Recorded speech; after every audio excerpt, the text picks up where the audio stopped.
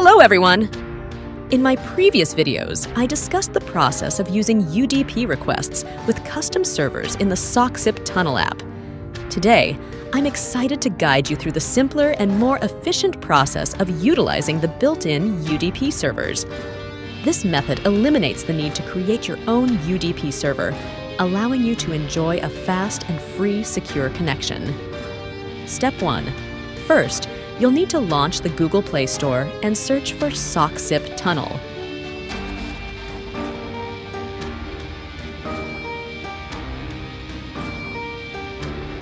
Once the app appears in the search results, click on it and then proceed to install it on your device.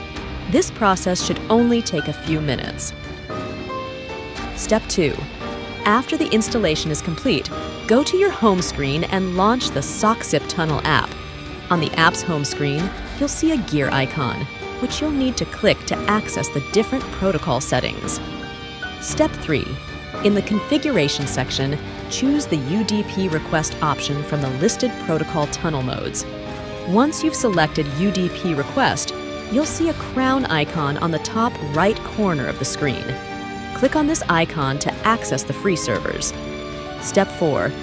The list of available servers will be displayed. Make sure to check the server's expiration date before selecting one. Tap on any server to load it. Once the server is selected, you can edit the settings, such as the receiver counter and port according to your preference.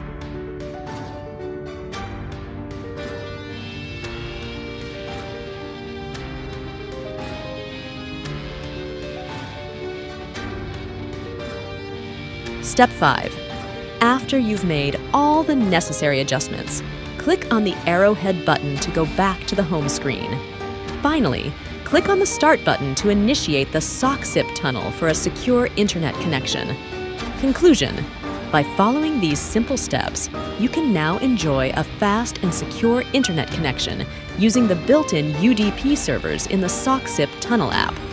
If you have any issues or questions, feel free to leave a comment and I'll be happy to assist you. Don't forget to like, share, and subscribe to my channel for more informative and helpful content. Thank you for watching, and I'll see you in the next video.